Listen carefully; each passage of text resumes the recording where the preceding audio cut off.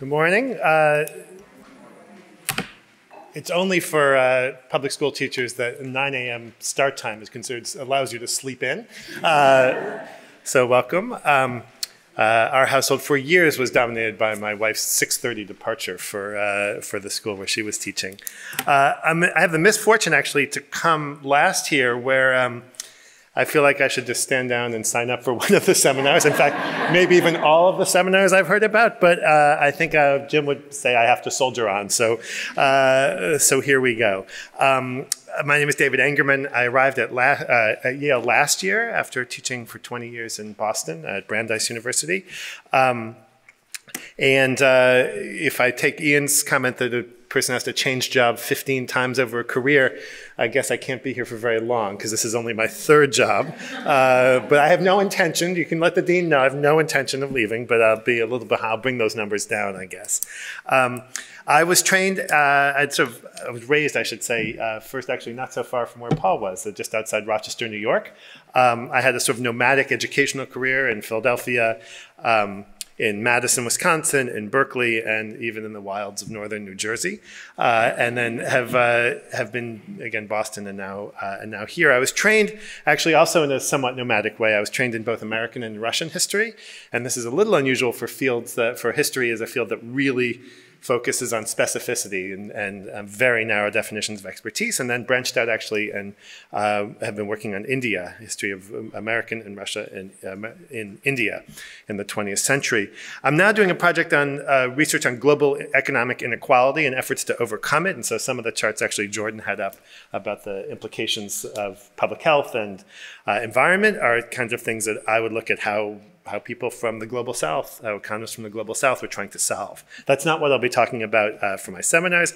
I have been involved in a number of teaching initiatives in Boston, both in US and global history, things at Brandeis, uh, at the John F. Kennedy Library, and the now departed but much beloved Teaching American History program uh, that uh, existed for um, the first decade of the 21st century. I'm grateful to have learned so much at these sessions and um, excited to be at Yale and excited for my initiation into the YNI.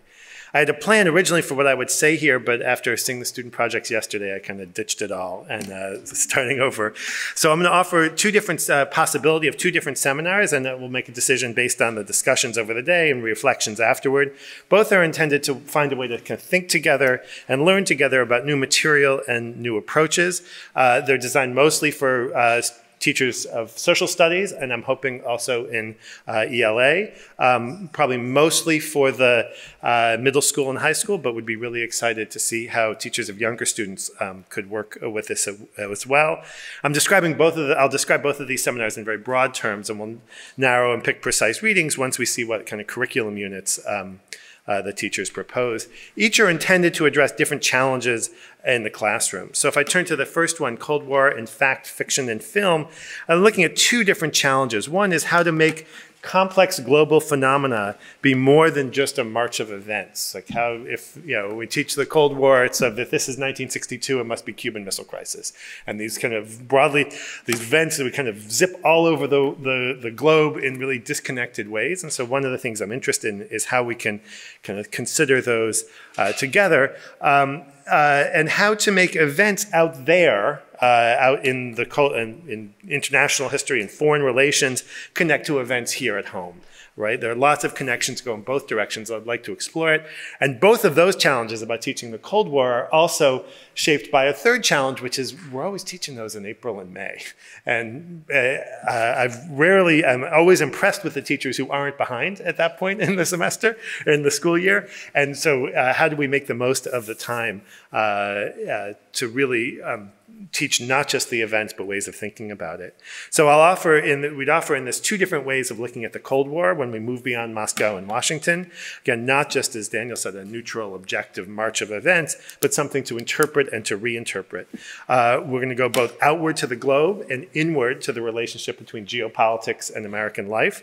So I'll actually kind of go the other way as I talk about them. I'm going to start with domestic, a kind of domestic approach and look at um, the Cold War is part of battle over American politics and society. Watch the American society looks like, what it should look like, and try and deal, among other things, with the paradox of trying to unite 1950s conformity, 1960s radicalism, uh, uh, and challenges to the status quo, both as Cold War phenomena. We'll explore links between social movements and the Cold War, most obviously the anti-war movement, but also Cold War civil rights, feminism, uh, student movements, and so on.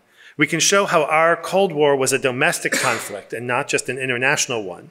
We'll also look at how that international conflict affected uh, daily life, right? So um, these, again, these events out there, like the arms race, uh, an expanding system of mil military bases, both at home and abroad, uh, shaped domestic life. The rise of this military industrial complex created not just weapons, but it also created new kinds of cities, new kinds of schools, new kinds of universities, new kinds of work, new kinds of knowledge. And we'll look at all of those as part of, uh, part of a kind of broader way to think about the Cold War. Depending on stu uh, student interest or teacher interest here, we'd look at um, uh, the great social movements of the 60s, uh, cultural Cold War from the CIA sponsorship of intellectuals to uh, the Cold War providing laboratories actually to oppose Cold War ideas, including things like ethnic studies, uh, the sort of forebear, I would take it to ERM, right? Uh, uh, which emerges out of uh, as a kind of resistance to the Cold War from some of the same uh, programs. And these laboratories went uh, included people from pastors to protesters as they did it. So that's the first way of looking inward domestically. A second is to see the Cold War as a domestic conflict about competing visions of the modern world. What does a just modern world look like? And it's, that's part of what's at stake in this conflict.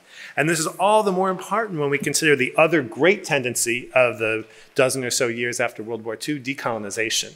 So for my generation, uh, educated in the last uh, decade of the Cold War, uh, the Cold War just looms so large as a defining feature of the 20th century. I think um, if not in uh, the next, but then possibly the next generation, uh, it will be the era of decolonization, which the Cold War actually plays a much more um, uh, minor role. That's not where curriculum, uh, that's, that's not where uh, curricula are and Common Core requirements just now, so we have to adapt to that as well, but we can, we can set the stage for it.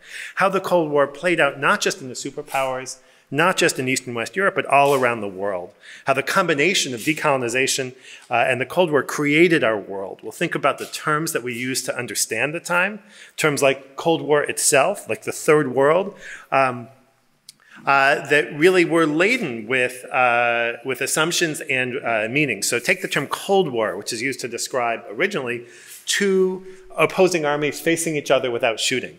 Well, that's a pretty good description with a couple of stray shot, rifle shots here and there. It's a pretty good description of Europe, but it's a terrible description of much of the rest of the world, where the Cold War had lots of arms, lots of wars, uh, millions of lives involved in it, right? So we can look at this as a global conflict. We will look at the US-Soviet conflict, economic competition, the arms race, the division of Europe, which we can, uh, we can teach in many, way, in many ways, including things like Bridge of Spies, uh, Korean War, Vietnam War, which I think is the hinge of the Cold War, at least in the American American incarnation, looking at soldiers' accounts, uh, at some of the brilliant films the, about Vietnam War and its effects, uh, novels by Tim O'Brien and many others. And in the larger sense, thinking about the U.S. role in, uh, in the global South, what was then the Third World. We'll mix uh, historians' accounts with useful primary sources. We'll look at some great films with some films that we might generously say are period pieces. But hey, as historians, we want to understand those periods as well. Um, and we'll, we'll try and use that uh, to develop curricula as a framework to develop curricula uh, on the second half of the 20th century, both in US history and in world history.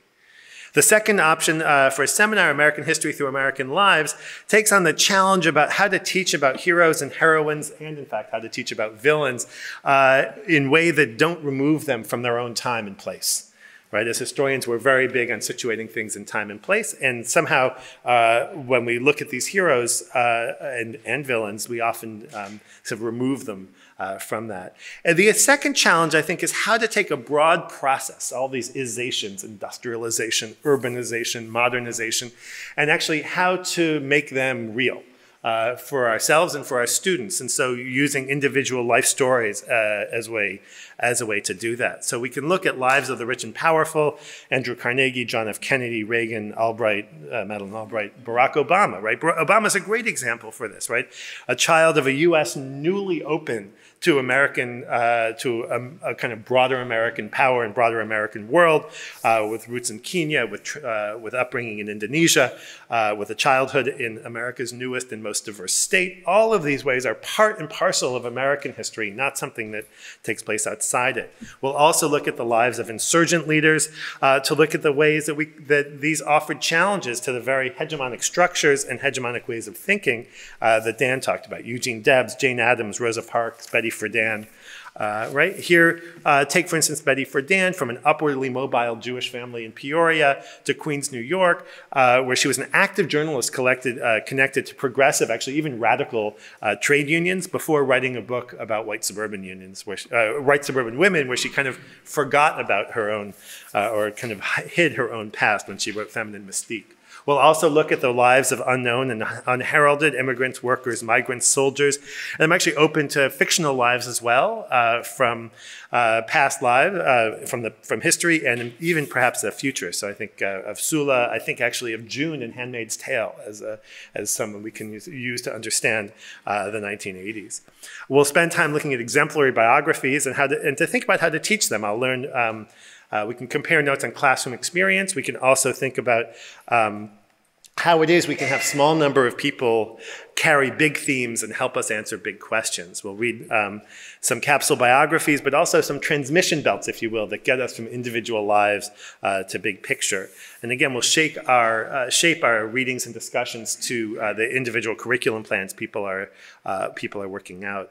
I mean, both seminars, I think, are designed to help us and to help our students uh, connect to broad historical phenomena and panoramas. History isn't just something out there uh, that we learn about it, but it's something that people make, right? Uh, even uh, big events like the Cold War are made in individual moments and have complex relationship between the individual and the history. Uh, it'll help uh, students understand, I hope, that they can, they can make that history of their own, on their own. And the greatest success of all would be to see our students featured as a subject in a future version of American history, American lives um, I'm excited for all this and look forward to working with you this year. Thanks.